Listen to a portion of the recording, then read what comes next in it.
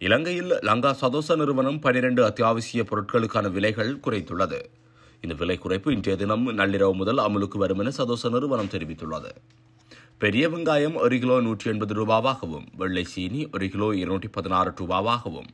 சிவப்பு பச்சை அரிசி ஒரு கிலோ நூற்றி எண்பத்தி ஏழு ரூபாவாகவும் வெள்ளை பச்சை அரிசி உள்நாடு ஒரு கிலோ நூற்றி எழுபத்தி ஒன்பது ரூபாவாகவும் சம்பா உள்நாட்டு அரிசி ஒரு கிலோ இருநூற்றி பத்து ரூபாவாகவும்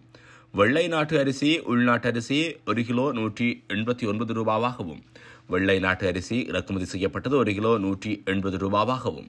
கேரிச்சம்பா ஒரு கிலோ இருநூற்றி முப்பத்தி ஒன்பது ரூபாவாகவும் சிவப்பு பருப்பு ஒரு கிலோ முன்னூற்றி எழுபது ரூபாவாகவும் காய்ந்த மிளகாய் ஒரு கிலோ ஆயிரத்தி எழுநூற்றி முப்பது ரூபாவாகவும் நெத்தலி ஒரு கிலோ ஆயிரத்தி நூறு ரூபாவாகவும்